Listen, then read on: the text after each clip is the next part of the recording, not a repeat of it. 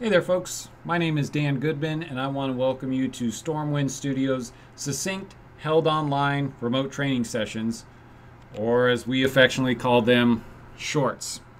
This is the third short in the Wireless LAN Essentials series of shorts focusing on wireless LAN management protocols. As far as our topics of discussion are concerned, we'll briefly cover things that are specifically tied to wireless LANs and things that wireless LANs are capable of speaking to. Things like Simple Network Management Protocol, Network Mobility Services Protocol, which includes a discussion on the Mobility Services Engine. Finally, the Cisco Discovery Protocol acronyms upon acronyms. You get an acronym, I get an acronym, everybody gets an acronym. Now, when we talk about wireless LAN management protocols, SNMP or the Simple Network Management Protocol is found at the application layer because SNMP is used to centralize the collection of information of network information. So it collects information on information. Yes. Now, in a Cisco wireless architecture, SNMP is used between management stations and wireless LAN controllers. If you add Cisco Prime infrastructure to the mix, of course, Cisco would love you to spend more money on their products. SNMP can also push configurations down to those wireless LAN controllers, otherwise known as WLCs.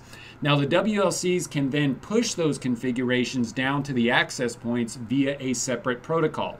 Communication between the controllers and the access points are provided via a mouthful of an acronym the control and provisioning of wireless access points, otherwise known as the CAPWAP protocol. Uh, we're going to discuss that later. NMSP, getting tongue tied here myself, is a Cisco proprietary protocol developed to overcome SNMP's limitations with real time location data. SNMP is great at what it does, but like most things, it's not great at, everything. The NMSP improves communication speed and reliability between the controllers and something known as Cisco's Mobility Services Engine, or MSE. The MSE enables controllers to provide location based services to wireless devices. Now, the SNMP's limitation with wireless signal measurements actually impact MSE's abilities, which is why they created NMSP, ABC, 123. It doesn't matter how many acronyms we can spit into this particular short.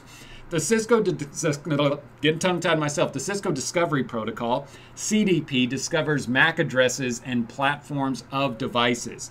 It also captures interface information from those internal interfaces. As promised, we keep these things relatively short and sweet, hence the name short. Thanks for watching our short on wireless LAN essentials. Make sure you subscribe to our channel so that you're notified of new shorts down the road. Take care.